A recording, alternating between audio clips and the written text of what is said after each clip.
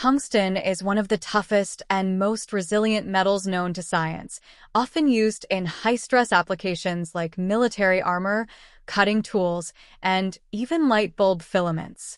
But can you actually forge tungsten like you would steel or other metals? In this article, we'll explore the unique properties of tungsten, the challenges of working with it, and whether forging this metal is possible. 1. What makes tungsten special?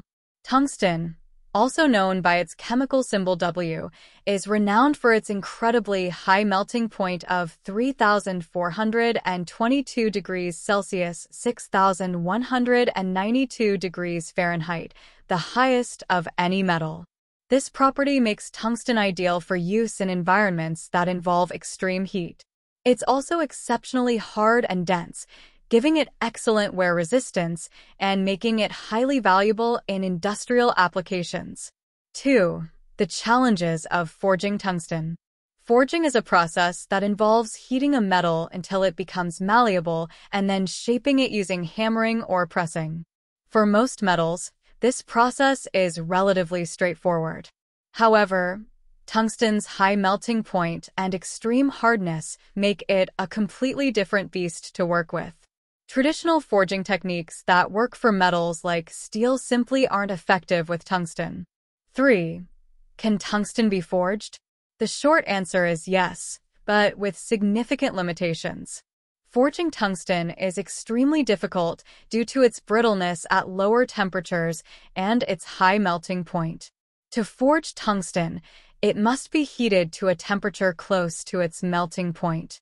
Even then, it's prone to cracking and requires specialized equipment and techniques.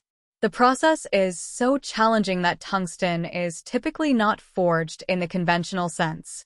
4. Alternative methods. Powder metallurgy. Instead of forging, tungsten is often shaped using powder metallurgy. This process involves compressing tungsten powder into a desired shape and then sintering it at high temperatures. The result is a solid, dense product that retains the desirable properties of tungsten without the need for traditional forging. Powder metallurgy is commonly used to create tungsten carbide, a material that's even harder than pure tungsten and widely used in cutting tools and industrial applications. 5. Applications of forged tungsten. Although forging tungsten is difficult, some applications require the unique properties of this metal in a forged form.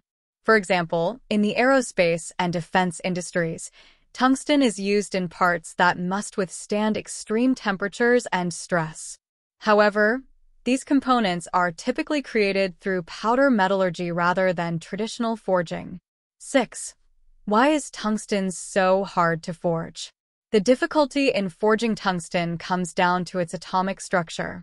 Tungsten atoms are packed tightly together in a way that makes the metal incredibly strong but also resistant to deformation.